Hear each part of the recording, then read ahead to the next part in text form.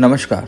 सभी देखने वालों का एक बार फिर से स्वागत करते हैं हमारे चैनल पर। मित्रों, आपने हमारे चैनल से बहुत सारे मंत्र और टोटकों से अपने जीवन की बहुत सारी समस्याओं का खात्मा किया है। दोस्तों, आज के इस भागम भाग भरी ज़िंदगी में हर कोई उन्नति को पाना चाहता है और अपनी हर मनोकामना पूरी करना चाहता है। कोई पैसे से कोई दिल से, कैसे भी करके उसे प्राप्त करना चाहता है। आज हम आपके लिए ऐसा ही एक सरल और आसान मंत्र और टोटका लेकर आए हैं, जिससे आप अपनी हर मनोकामना पूरी कर सकते हैं। चाहे आपका प्यार का मामला है, चाहे आपका पति पत्नी का मामला है, या फिर किसी अपने को वश में करना चाहते हैं, चाहे आप अपने किसी साथी को या आपके मालिक को वश में करके अपनी कोई भी मनोकामना पूरी कराना चाहते हो तो ये मंत्र और टोटका आपके लिए है। तो आइए जानते हैं कि मंत्र टोटका किस प्रकार से काम करता है। ये टोटका आपको शुक्ल पक्ष के रविवार से शुरू करना है। आपको रविवार प्रातः काल में नित्य कर्मों से निवृत्त होकर नहा धोकर, शुद्ध वस्त्र पहनकर अपने घर के मंदिर में तीन अगरबत्ती जलाकर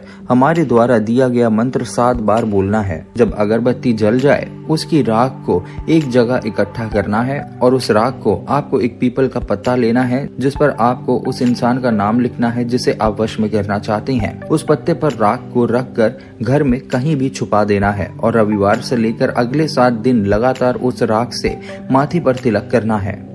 ऐसा सात दिन करने से आप जिसे भी वश में करना चाहते हैं, वो आपके वश में हो जाएगा और आपकी मनोकामना पूरी हो जाएगी। मंत्र जानने के लिए या अपनी कोई भी मनोकामना पूरी करने के लिए नीचे दिए गए नंबर पर आप फ़ोन करके या व्हाट्सएप पर गुरुजी से बात कर सकते हैं।